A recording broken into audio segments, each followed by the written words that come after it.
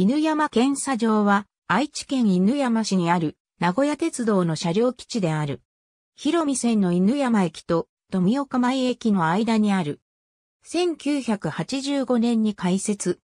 広さは35,627平方メートルあり、名古屋鉄道の車両基地の中では2番目の規模である。主な設備は、検査ピット、戦車台、車輪旋盤、自動車輪測定装置、ドロップピットなどがある。また、最大52両を留置可能。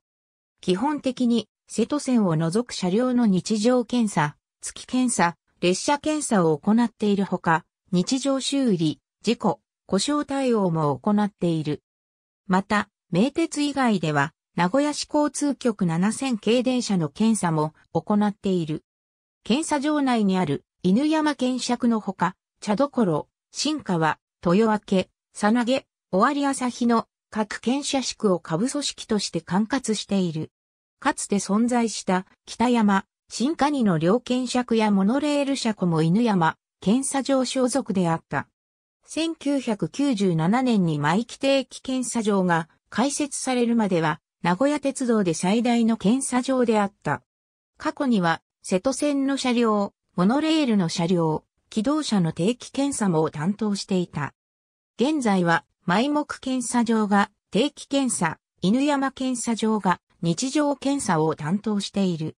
伊藤慎吾、検釈の概要、鉄道ピクトリアル第816巻、電気車研究会、2009年3月、59ページ。伊藤慎吾、検釈の概要、鉄道ピクトリアル第816巻、電気車研究会、2009年3月、58ページ。伊藤慎吾、検釈の概要、鉄道ピクトリアル第771巻、電気車研究会、2006年1月、63ページ。宇佐美明、車両保守体制と車両基地の概要、鉄道ピクトリアル第624巻、電気車研究会、1996年7月、47ページ。電気車研究会、鉄道ピクトリアル通関第816号2009年3月、臨時増刊号、特集名古屋鉄道、端末折り込み、名古屋鉄道配線略図油、原誠、車両工場、検釈の概要、鉄道ピクトリアルナンバー473-1986年12月、増刊号 P26、電気車研究会、1986年。ありがとうございます。